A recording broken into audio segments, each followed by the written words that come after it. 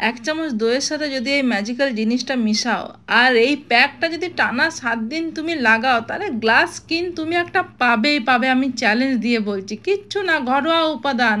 এক চামচ দইয়ের সঙ্গে হাফ চামচ মধু মিশিয়ে তারপর নর্মাল জল দিয়ে মুখটা ধুয়ে নেবে, দিয়ে এই যে প্যাকটি তৈরি করলে ভালো করে ম্যাসাজ করে করে লাগাবে, দু তিন মিনিট লাগিয়ে নর্মাল জল দিয়ে মুখটা ধুয়ে নিয়ে চলে আসবে। তারপর দেখো। সাহিলা খাতুন বর্ধমান থেকে বলছে, দিদি, পনেরো দিন পর আমার বিয়ে, আমাকে ইনস্ট্যান্ট গ্লো ফেস আর বডি করতে হবে, কি করব বলো?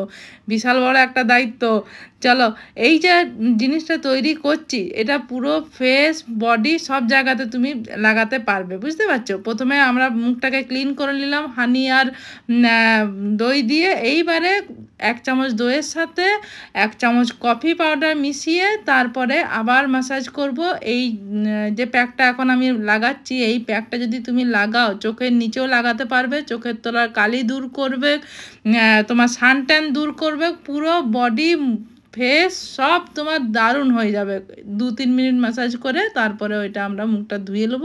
এইবারে তৈরি করব একটা ফেস প্যাক যেখানে লাগবে এক চামচের মতো বেসন, এক চামচের মতো দই, আর অল্প এক চুটকি হলুদ, আর যদি কফি পাউডার দাও তো খুব ভালো, না দিলেও কোনো ক্ষতি নেই। এই যে প্যাকটি তৈরি করলাম, এই প্যাকটি ভালো করে মোটা লেয়ার করে মুখে লাগিয়ে পনেরো কুড়ি মিনিট রাখতে হবে। মুখে, হাতে, পায়ে সব জায়গায় লাগাও, বুঝেছ? এইবারে দেখো, পনেরো কুড়ি মিনিট পরে মুখটা ধুইলে চলে এসেছি। নিজের চোখে নিজেই বিশ্বাস করতে পারছি না গো। প্রথমবার লাগিয়ে এত পরিবর্তন, তাহলে বুঝো কি অবস্থা হবে যখন পরপর সাত দিন লাগাবে। সাত দিন কেমন করে লাগাবে বলে দিই। প্রথম দিন যখন লাগাবে, পরপর তিনটে স্টেপই করবে। তারপরের দিন থেকে প্রথম স্টেপটা করবে আর তৃতীয় নাম্বার স্টেপটা করবে। বুঝেছ?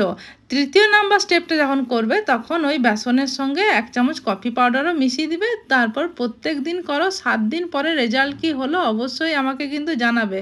একশোটা রোগের একটা ওষুধ হ্যাঁ? তোমার সানট্যান দূর করবে, চোখের তলার কালি দূর করবে, একটা গ্লাস স্কিন দিবে, তোমার মুখে যাবতীয় দাগ চলে যাবে, একটা বিশাল গ্লো পেয়ে যাবে। শুধু মুখ না, মুখ বডি সব জায়গায়। দারুণ। বলি, আর কি চাই, লাই?